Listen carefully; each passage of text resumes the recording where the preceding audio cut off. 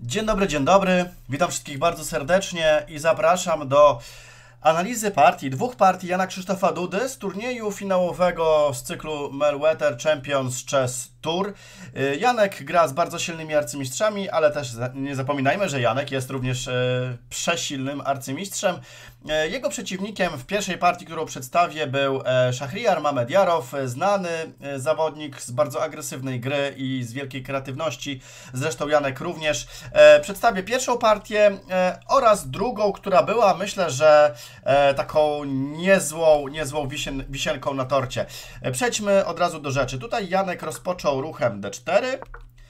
Mamy Diarow skoczek F6, C4, E6, skoczek F3, D5, G3. Ja zawsze się zastanawiałem, znaczy może nie zawsze, ale czasami mam problem z tym, jak grać ten właśnie gambit hetmański i dzięki właśnie analizie e, na przykład Janka mogę już e, skopiować nieco jego ruchy i wiedzieć, jak mniej więcej grać właśnie po wybiciu na C4.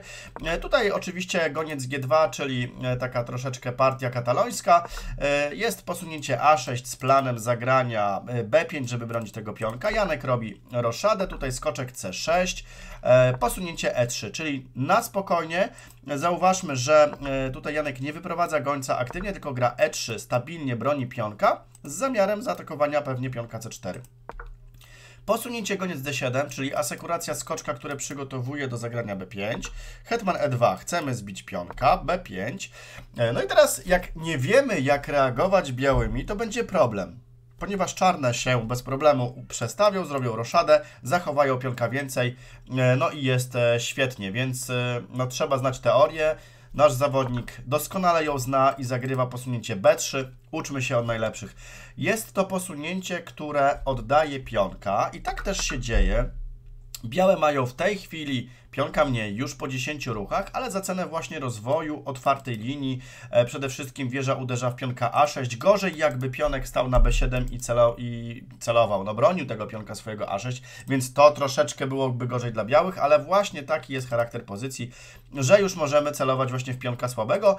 Goniec D6, goniec B2, czyli wyprowadzenie figur, roszada, wieża C1. Wieża od razu weszła do akcji, pilnować przede wszystkim też przy okazji pola C5, skoczek B4, E, i skoczek na E5. Zauważmy, że nasz arcymistrz nie zagrywa w ogóle skoczkiem z B1 póki co, tylko przechodzi od razu do ofensywy. E, tutaj jest atak oczywiście na wieżę, wieża C8 e, i skoczek na A3. Bardzo dziwnie to z jednej strony wygląda na pierwszy rzut oka, dlatego że skoczek zagrywa na A3 i on nie ma dalej jakichś perspektyw, perspektyw dalszej gry, jakiejś aktywnej ale chodzi o to, że skoczek z A3 ma szansę się przerzucić na C2 i wypędzić tego potwora z B4, bo faktycznie skoczek na B4 no stoi dobrze, broniąc pola A6, no i tak troszeczkę tutaj penetrując pozycję w obozie białych. C5 nastąpiło, Janek po prostu wybił, przydaje się do tego goniec, który fajnie pilnuje skoczka, wieża zbiła, wieża zbiła, goniec zbił i skoczek C2 z opcją właśnie wymiany. Co ciekawe, właśnie Janek liczy na to, żeby tutaj wymienić i jest atak na gońca i jest atak przy okazji na e, pionka A6, więc myślę, że w tej konfiguracji tutaj e, raczej czarne by nie chciały grać. Oczywiście jest hetman B6, żeby bronić tych dwóch rzeczy, ale myślę, że można pokusić się o bicie tutaj. Może skoczek D3 z jakąś fajną inicjatywą i te figury białych by się fajnie rozegrały. To jest już ekstremalnie wysoki poziom. E, posunięcie a5 nastąpiło i Janek wieża D1 związał fajnie tutaj e, gońca, który broni hetmana. Hetman C7, no i trzask z gońca. Para gońców została u e, naszego arcymistrza i skoczek zagrywa na A3. Okazuje się, że pionek B5 e, jest nie do obrony, czyli białe odzyskują pionka, zachowując parę gońców. No i to jest już sukces w debiucie, to jest pozycja przyjemniejsza naszego arcymistrza. Hetman B8, goniec wziął te, tego skoczka. To jest właśnie dosyć istotne, że w pewnym momencie dobry zawodnik wybije takiego skoczka. Chodzi o to, żeby otworzyć jednak tutaj opcję do króla. Wieża D7 bardzo aktywnie zagrywają białe, wieża D8, wieża B7, goniec dobrze działa. Tutaj hetman E5, skoczek wrócił na A3. Dlaczego skoczek wrócił na A3? Moi drodzy, e, przede wszystkim po to, żeby się przerzucić na pole e, C4. Nastąpiło F5. Oczywiście e, zadajmy sobie pytanie, czy można zagrać hetmanem na A1 i zdobyć skoczka na A3. E, tutaj trzeba byłoby się zasłonić gońcem i jeżeli by czarne zbiły tutaj, no to robią się ogromne problemy, moi drodzy. Hetman G4, król H8 bierze F7 i można składać broń. E, za bardzo nie ma jak się bronić. Tutaj grożą maty, e, grozi wzięcie tutaj, grozi wzięcie później tu, może Hetman H5 jest pozamiatane. No, nasz arcymistrz wiedział, co się święci. Taki skoczek A3, bardzo fajny ruch. F5, Hetman H5 od razu pojechał. Zobaczcie, Janek od razu atakuje. Hetman F6 wrócił, skoczek C4 ustawił się fajnie, wieża F8 i tutaj oczywiście poprawiamy troszkę figurę, wieża D7. Cały czas teraz białe naciskają. Skoczek A6, goniec B7, tutaj e, skoczek, wieża, goniec B4. No i skoczek na B8 tak naprawdę teraz w ogóle nie ma jakiejś aktywnej gry, to jest duży plus białymi. E, dalej nastąpiło E4. Janek tutaj przechodzi od razu do ataku w centrum. Oczywiście e, po wybiciu tutaj e, się goniec fajnie uaktywnia i można fajnie atakować, prosto atakować czarnego. Hetman D8, wieża C8, hetman D7. No i ta pozycja teoretycznie jest troszeczkę lepsza białymi, ale jednak czarne mają szansę się tutaj wybronić. To nie tak łatwo jednak wygrywać, choć e, pozycja tak wizualnie wygląda jakby tu już białe wygrywały. Szach nastąpił, król H8, e, szach nastąpił, król G8, no i oczywiście jak Janek chce, to ma wieczny szach, remis w kieszeni, ale ambicja oczywiście po król H8 i w tym momencie nastąpiło bicie na F5. No ten ruch y, y, według silnika jest y, ruchem, który wyrównuje totalnie pozycję. E, tutaj przede wszystkim należało spróbować szansy na coś takiego, żeby zbić, zbić, ale kto by wymyślił taki ruch jak goniec A8? No silniki w ogóle wariują. E, ja tu nic nie widzę dobrego białymi. Znaczy, mało widzę oczywiście od arcymistrzów, ale Janek również tak nie zagrał. E, wydaje się e, fajnym biciem. Tutaj też e, przemyślał fajnie sobie to i wszystko Janek. Wieża zbiła, goniec zbił i hetman zbił na C8. Okazuje się, że w tej sytuacji jest figura mniej białymi, ale na szczęście jest atak.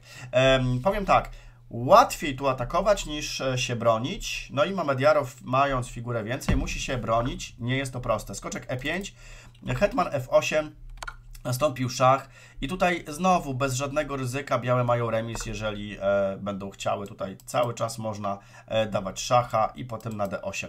E, więc w tej sytuacji Janek zagrywa skoczek G4, próbuje wygrywać, skoczek e, na e, H6 grozi. E, no, moi drodzy, w tej sytuacji Mamadiarow się niestety myli, bo zagrywa goniec D2, co wydaje się bardzo naturalnym, dobrym ruchem broniącym pola H6. E, jednak e, tutaj należało zagrać hetman E8, żeby król miał furtkę na F8 i ta pozycja nie byłaby wygrana białymi. E, łatwo się mówi, jak się ma silnik przed oczami, ale mm, no wierzcie mi, że na przykład po takim ruchu król H8, takim król, no i powiedzmy po takim ruchu król F8 i tutaj po takich ruchach, nawet po biciu na H7, no pozycja jest po prostu równa według silnika, ale powiedziałbym, że tutaj białe miałyby jakiekolwiek szanse, bo to bardzo groźnie wygląda. E, pionki również wolne idą. Ciężko stwierdzić, no naprawdę bardzo złożona, dynamiczna e, równowaga według e, maszyny. E, po skoczku G4 goniec zagrał na D2 i Janek już tutaj gra bardzo dobrze, bezbłędnie niemalże. Bije na E6, bicie, hetman zbił, król G7. Nastąpił szach. No tutaj zabawa za darmo. Mamy cały czas szachy. Skoczek asekuruje ważne pola. Król G6, nastąpił szach. Znowu szach, król G6. No oczywiście Janek szuka opcji na wygranej, bo to się czuje, że tu musi być wygrana. Nastąpił szach, hetman F5. Nastąpił szach, król. Szach, król wrócił. Oczywiście czarne nie mają za dużego wyboru. Szach na E8, król G5, skoczek E5. No i próba oczywiście E, no cóż, wygrywania tej pozycji. Fajnie jeszcze skoczek tutaj stanął, bo nie może, nie wpuszcza tutaj skoczka na e, C6 i D7 przy okazji. Szach na B1, król, hetman zbił pionka, mogłoby wydawać się groźnie, no ale w tej sytuacji skoczek F3 i mamy widełki, odzyskujemy figurę, król F6 i skoczek wziął na D2. Szach nastąpił i skoczek z szachem się zasłonił, coś ciekawe. Szach, szach, szach co nie? Czyli fa znaczy fajna zasłona od razu z szachem, to taki rzadki widok. Królew 7 F3. Pozycja jest obiektywnie wygrana, tylko trzeba ją dokończyć. Skoczek D7, nastąpił szach. Oczywiście tutaj cały czas zabawa za darmo. Hetman wziął na H7. Um, no, wziął po prostu pionka. No i tutaj e, Janek F4, Król bezpieczny, kilka szachów jeszcze poszło, skoczek na G5 z opcją bardzo groźną, oczywiście. No tutaj oczywiście bawili się panowie, widać też po czasie, że grali na sekundach, więc trzeba było szybko podejmować decyzję. Skoczek, skoczek D4. W ogóle skoczek z hetmanem to jest świetne połączenie, bardzo groźne. Bardzo ładnie też, zobaczcie, Janek zagrał i nie wpuszcza hetmana z szachem. Oczywiście jest hetman na H5, ale król na G2 i hetman znowu. Nie ma jakiejś tutaj opcji dobrej, żeby dać szacha. Skoczek B6, hetman E5, próba wymiany hetmanów i to jest raczej wymuszona próba, znaczy to jest wymuszona wymiana hetmanów, bo tutaj e, pionek e, pada, więc poszła wymiana, A4, król do centrum. Skoczek zawsze zdąży oczywiście obronić to pole. Król do centrum, króle są bardzo ważne. Skoczek na C4, fajnie zagrał, broni. No i tutaj e, w tej sytuacji po ruchu H5 mamy Diarów, poddał partię, e, dlatego że skoczek zawsze, bez, e, skoczek spokojnie tutaj zawsze zagra na pole, przepraszam najmocniej, pole, na pole A3 i pionek sobie swobodnie, szybko dochodzi do pola przemiany. Przejdźmy do drugiej partii. Bardzo ciekawej, arcyciekawej. Co tutaj Janek zrobił z e, arcymistrzem Ariunem Erigasi? E, to przechodzi ludzkie pojęcie i zapraszam do tej fascynującej, już krótszej partii. Uwaga! Nastąpiło e, C4, przeciwnik C6, skoczek D5, G3. Erigasi zbił e, na C4, goniec G2, czyli widzimy, że Janek e, no, w tych partiach oddaje pionki na C4 za opcję szybkiego rozwoju.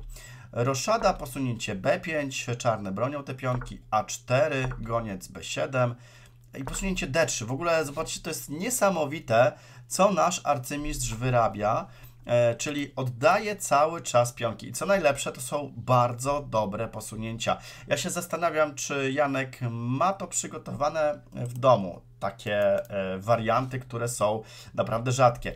Co robią czarne? Czarne biją na D3, no bo zbić trzeba, bo tu się wyrównuje świetnie, znaczy mm, w ogóle pionki świetnie by tutaj stały i rozbiły skrzydło hetmańskie.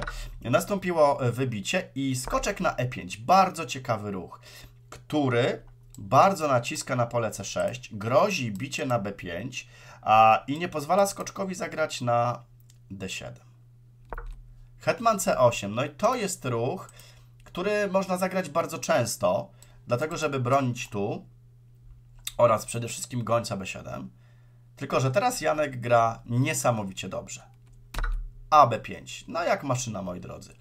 Co ciekawe, bicie nastąpiło na B5 i ruch w ogóle kapitalny. Hetman B3. Posunięcie, które atakuje na F7 i też e, ważne jest to, że hetman ma opcję zbicia na b5, co jest ciekawe. W tej sytuacji goniec zbił na g2, Janek na f7. No, za bardzo nie ma jak się bronić, bo jakby zagrało, zagrały tutaj czarne na, właśnie na e6, to jest hetman bije na b5 i jest koniec partii, bo zdobywamy figurę, nie można się zasłonić. Skoczek z gońcem, z hetmanem działają kapitalnie. Więc e, w tej sytuacji poszło bicie, poszło bicie, król d8, Król odbił oczywiście. Bicie na E2, wieża 1. No innych ruchów nie ma. Problem czarnych jest taki, że król jest e, no, w centrum, można powiedzieć, w centrum, czyli jest zderoszowany, e, jest e, narażony na potworny atak. Skoczek C6. Co robi nasz arcymistrz? W ogóle Janek gra tutaj naprawdę jak maszyna. To jest niesamowicie, że gra najlepsze posunięcia w tej pozycji. To jest y, jednak klasa. Naprawdę trzeba przyznać, e, bo ja na przykład bym się skusił, nie wiem, tu jakiś na goniec F4, żeby szybko te figury rozwijać, a Janek gra skoczek na F3. Rewelacja. Odejście skoczkiem, tak subtelnie. Ten skoczek ma też opcje oczywiście inne, ale też nie wpuszcza tego skoczka. Rewelacja zagranie. Y, dosyć trudne oczywiście. Hetman B7 i wieża A3. No, coś nieprawdopodobnego. Oczywiście to jest jeden z lepszych ruchów w tej pozycji, ale można też było spokojnie wziąć pionka. Yy, nastąpiło wieża A3 z obroną, a przy okazji też z atakiem na króla. Skoczek E5, hetman E6 oczywiście, skoczek zbił, wieża zbiła, no tak trzeba. Hetman E4 z opcją wymiany, no za bardzo wymienić nie chcemy. I teraz Janek gra po raz kolejny najlepsze posunięcie w partii. Ja jestem w szoku, że tak dobrze można grać w szachy i wszystko przeliczyć. E, ale to e, też sobie wyjaśnimy. O, wyjaśnimy sobie za moment. Otóż hetman na A6. Oddanie skoczka na B1. Pytanie, czy można zbić skoczka? No, moi drodzy, jak weźmiemy tu skoczka czarnymi, to hetman B5. I okazuje się, że król jest w takim potrzasku i grozi wieża D3. Oczywiście z obroną. Bez figury tutaj sobie białe spokojnie radzą. Coś nieprawdopodobnego. Ehm, no, rewelacyjnie to w ogóle stoi. Janek po hetman A6, znaczy przeciwnik zagrał wieża C8 i Janek gra teraz ruch z dwoma wykrzyknikami, według silnika. No, rewelacja. Hetman bije B5. Dlaczego ten ruch jest dwoma wykrzyknikami? Bo cały czas trzeba liczyć oczywiście to posunięcie, ale to już wiemy, że gramy wieżą na D3, więc skoczek jest nietykalny, ale pytanie, czy można zbić na C1, bo chodzi o to, że ten pionek jest bardzo zaawansowany. I tutaj po tym ruchu, po tym, jeżeli by pionek doszedł do hetmana, to bijemy, to bijemy i bierze D3. Wszystko wyliczone. Tutaj już są ataki matowe. Po król C7, hetman C5 i tam się daje za chwilę mata białymi. Rewelacja. E6 nastąpiło, no goniec wchodzi do gry troszeczkę. Goniec G5 wiąże cały czas Janek. Tutaj masakrycznie go e, czarnego tutaj atakuje. Goniec E7, skoczek C3 wyszedł w końcu. Hetman C6 i hetman zbił na E2. No patrząc na e, figury i pionki, wszystko jest porówno, ale to białe figury są lepiej wyprowadzone i król jest bezpieczniejszy. Oczywiście można jeszcze odejść, żeby już nie było tego takiego paskudnego związania, ale król czarny ma problem. Skoczek zagrał na d7, skoczek e4. Rewelacyjne zagranie, dlatego że po wybiciu skoczek wybija i tutaj na e6 lub na f7 skakuje. h6 nastąpiło, wieża c1, cały czas wtrącenia, to jest niesamowita siła arcymistrzowska. Hetman A8, nastąpiła wymiana, moi drodzy, i ruch, skoczek D6, najlepszy w pozycji, po którym e, czarne się poddały. Koniec partii. E, proste ruchy grożą. Po odejściu gdziekolwiek hetmanem jest skoczek F7 z szachem i wzięcie jakości. Jakość więcej z atakiem e, gwarantuje e, spokojną wygraną. E, ja jestem w szoku. Przepiękna partia. Dzięki Janek za taką grę, bo e, jest co analizować. Wam dziękuję za uwagę i widzimy się w kolejnych odcinkach. Pozdrawiam, cześć.